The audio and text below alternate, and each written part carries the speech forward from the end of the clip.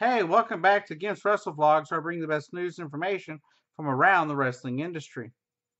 Dave Meltzer over at Wrestling Observer is reporting that there are rumors swirling around that Brian James, aka Road Dogg Jesse James, is replacing the lead writer on SmackDown Live.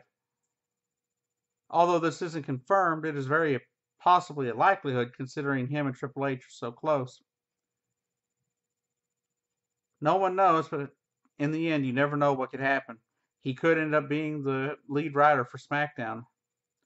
All we know is he is apparently gaining more power, according to Dave Meltzer, with his within his within the WWE because of his relationship with Triple H, and I guess his talent of writing for the show. He's also been a producer for several months on the show. Also, it's been reported that Kurt Angle has told TMZ that he will not be entering the Royal Rumble. He's not been booked to even appear at the Royal Rumble, he says. But you know what how it goes in the wrestling industry. Wrestlers say one thing and something totally different happens on the same day. You never know. So either Angle could be there, Angle might not be there, but lo- I'd love to see him show up and eliminate Rusev at least.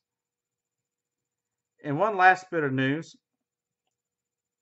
Um, Shawn Michaels has been added to the WWE Royal Rumble kickoff show. Many of you probably already know this because you've watched Raw or SmackDown. But for those of you that didn't know, Shawn Michaels has is been added to the two-hour WWE Royal Rumble kickoff show on Sunday before the Royal Rumble. Well, y'all have a great day. I hope y'all enjoyed the Rumble. Check out my predictions for the Royal Rumble. They'll be coming out Friday afternoon at noon. Um, please check back next Tuesday and Thursday for more videos, more news and information from around the wrestling industry, as well as possible top four lists of WWE and other wrestling superstar information. Y'all have a great day. Bye.